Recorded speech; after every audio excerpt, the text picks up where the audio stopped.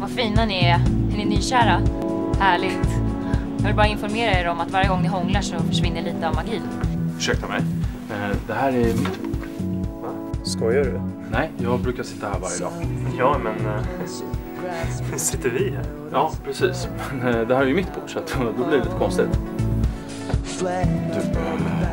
Du, ursäkta, får jag fråga en sak?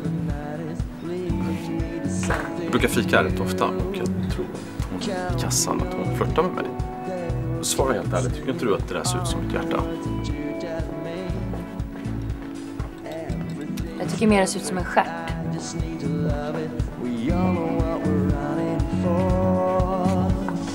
Mm.